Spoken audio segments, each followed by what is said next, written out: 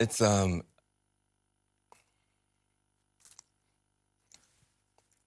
well it's easier to be a parent this morning. It's easier to be a dad. It's easier it's easier to tell your kids character matters. It matters. Telling the truth matters. Being a good person matters. And it's easier for a whole lot of people. If you're muslim in this country you, you, you don't have to worry if the president doesn't want you here this is vindication for a lot of people who have really suffered. You know, the, the I can't breathe. You know, that wasn't just George Floyd. That was a lot of people that felt that they couldn't breathe. Every day you're waking up and you're getting these tweets and you just don't know. And you're going to the store and, and people who have been afraid to show their racism are getting nastier and nastier to you. And you're worried about your kids and you're worried about your sister. And, and can she just go to Walmart and, and, get back into the, her car without somebody saying something to her? And, and, and, and you spent so much of your life energy just trying to hold it together. And this is a big deal for us just to be able to get some peace and, and, and, and have a chance for, for, for a reset. And, and the character of the country matters. And, and, and, and, being a good man matters. Uh, you know, I just want my sons to, to look at this. Look at this. You know, it's easy to, to, to do it the, the, cheap way and, and, and, and, and, and, and get away with stuff, but it comes back around. It comes back around. And this is a good day for this country. I, am sorry for the people who lost. I, for them, it's not a good day. But for a whole lot of people, it's a good day.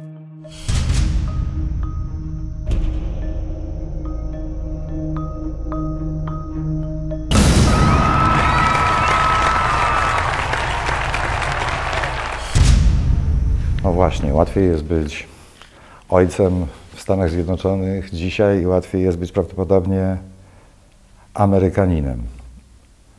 To jest wielki dzień e, w historii nie tylko Stanów Zjednoczonych, ale pewnie e, i całego świata, no bo te wybory mają dla nas wszystkich ogromne, ogromne znaczenie.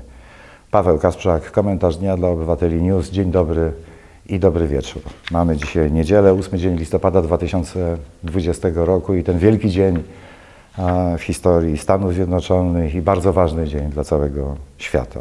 Natomiast no, w ciągu ostatniej doby w Polsce odnotowano 24 785 nowych przypadków zakażenia koronawirusem. Zmarły, zmarło 238 osób. A na dzisiaj w szpitalach przebywa 20 215 osób, z czego niestety 1841 wymaga podłączenia do respiratora, więc ich stan jest krytycznie ciężki.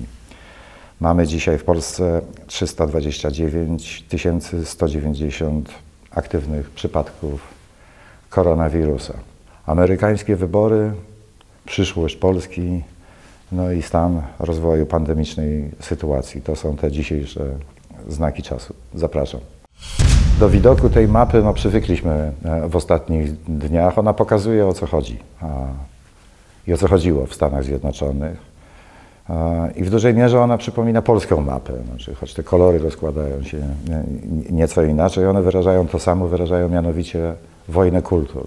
Tę wojnę kultur, która wzięła się no być może z tego, co właśnie usłyszeliśmy na wstępie, a no z tego, że, że dzięki mediom społecznościowym nagle okazało się, że to nie jest wstyd, że wypada wygłaszać skrajnie rasistowskie poglądy, że takich ludzi, którzy podzielają te poglądy, jest bardzo dużo, stanowią poważną i niezwykle groźną siłę polityczną. Amerykanie wygrali swoje, wygrali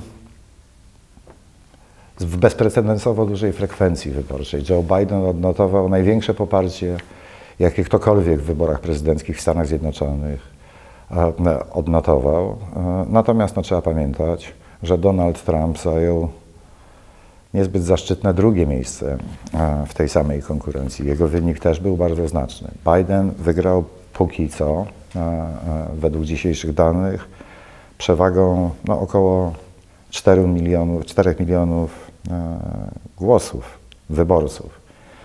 Z tym podziałem kraju Ameryka będzie się musiała jeszcze zmagać, mówili o tym i komentatorzy, i sam prezydent elekt, jak w zasadzie należy mówić powoli o Joe Bidenie. A dlaczego to zwycięstwo w Stanach Zjednoczonych y, stało się możliwe? No to przyczyn jest z całą pewnością wiele i zwraca się uwagę na to, że no ta fatalna polityka Trumpa ten paskudny okres tych czterech lat jego kadencji był no, z całą pewnością przyczyną główną. Jednak jak również zaznaczają komentatorzy, no nie było jakiejś miażdżącej niebieskiej fali. Amerykanie nie odwrócili się od Donalda Trumpa ze wstydem i zażenowaniem. No nie. No nie. Zaledwie o 4 miliony amerykańskich wyborców mniej, ale jednak poparło tego faceta z całym zapałem i najwyraźniej wciąż szczerym przekonaniem. No, to powinniśmy wszyscy mieć e, w pamięci. E, dlaczego jeszcze to zwycięstwo stało się możliwe w Stanach Zjednoczonych? No oczywiście z powodu koronawirusa, z którym ten federalny rząd radził sobie fatalnie, fundował nam jakieś akty nieodpowiedzialności i stek bzdur zamiast jakiejś przemyślanej e, strategii walki e, z tym kryzysem. No i jeszcze duże znaczenie, co wszyscy podkreślają, miało te kilka miesięcy protestu pod hasłem Black Lives Matter. A jak wygląda sytuacja w Polsce? No w Polsce również mamy koronawirusa, również mamy rząd, który postępuje z nim w sposób skrajnie nieodpowiedzialny. No i mamy, zamiast Black Lives Matter, mamy ten protest przeciwko próbie e, zakazania w Polsce aborcji, który, który podobnie jak w Stanach Zjednoczonych z tym protestem obrony czarnych mieszkańców Ameryki, no jest takim protestem silnie znaczonym wartościami, wartością ludzkiej godności i wolności mianowicie. To dużo. Nie mamy w Polsce mediów, które potrafią przerwać wystąpienie urzędującego w końcu prezydenta, wyjaśniając widzom, że prezydent posuwa się do ordynarnych kłamstw. Nasze władze kłamią tak samo często i nie znajdują się media, które byłyby zdolne do aż tak ostrej reakcji. No ale Amerykanie wygrali, dlatego że w tej wojnie kulturowej, w tym wyborczym plebiscycie, który jest zwieńczeniem tej wojny, byli w stanie wyłonić w demokratycznych prawyborach po stronie demokratów spośród kilkunastu bardzo wyrazistych kandydatów tego kandydata, który prawdopodobnie nie był najbardziej wyrazistym e, ze wszystkich, no ale uzyskał największe poparcie. To stąd się brał mandat Joe Bidena jako tego wojownika, który walczy, no jak to też bardzo wiele medialnych komentarzy pokazywało, walczy z najczystszym złem w amerykańskiej polityce i w amerykańskim życiu publicznym. Do walki z tym, co jest jakąś niesłychaną zupełnie erupcją ksenofobii, rasizmu, e, nieodpowiedzialności, kłamstw, jakiegoś takiego do najniższych instynktów odwołującego się politycznego PR-u i to wszystko było jeszcze podlane tym potwornym, znanym również z Polski sosem e, spiskowych teorii e, mających wyjaśniać historię. Patrząc na Amerykę, wszyscy zastanawiamy się, jakie mamy szanse w podobnym bardzo boju w Polsce. Dojrzewamy do takiej myśli, że wybory w 2023 roku to prawdopodobnie pomysł o tyle głupi, że, że te wybory będą no, o trzy lata spóźnione. One się powinny odbyć w zasadzie już teraz.